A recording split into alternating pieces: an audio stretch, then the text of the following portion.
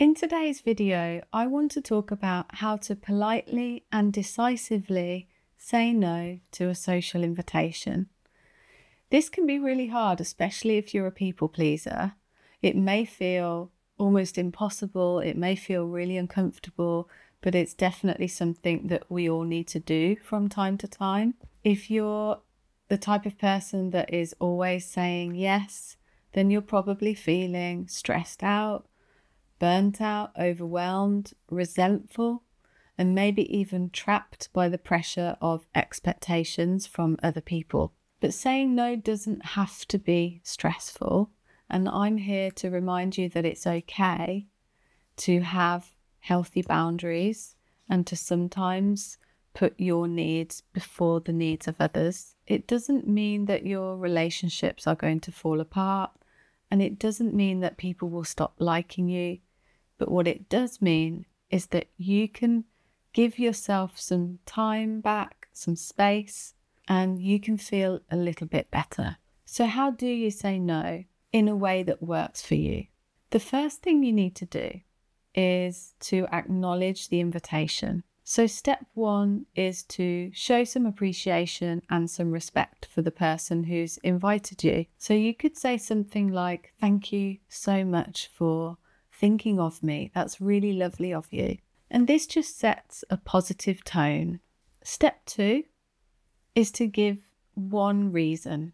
So, you don't need to over explain, you don't need to justify yourself, you don't need to overcompensate just one reason is fine. So it could be something like, Thank you so much for the invitation. Actually, I already have plans that day, so I'm not going to be able to make it. Or, Thank you so much for the invitation. I really need some downtime this weekend because um, otherwise I'm going to be really frazzled by the time I get to work on Monday, so I'm not going to be able to make it. And that's all you need to say. Step three is optional.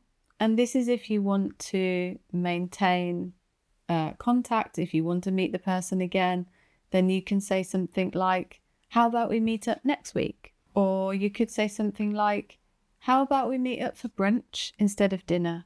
I get really tired in the evenings and I want to be my best self when I see you. This way, you're maintaining that connection with the person and you're making it work for you on your terms. Step four is all about self compassion. And this is really important because if you are a people pleaser or you struggle with saying no, then it's likely that you're going to feel guilty and you may change your mind because the guilt is too much. So, practicing self compassion and remembering that it's okay to have healthy boundaries and that it's normal to have healthy boundaries can be helpful. You could also try out some affirmations just to remind yourself that it's okay. So, here are some examples of some affirmations, and you could repeat them out loud to yourself.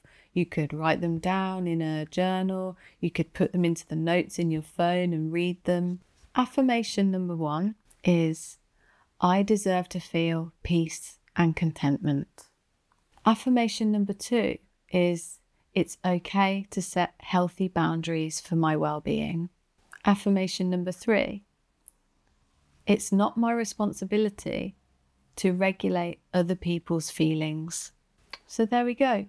Four steps how to decline a social invitation.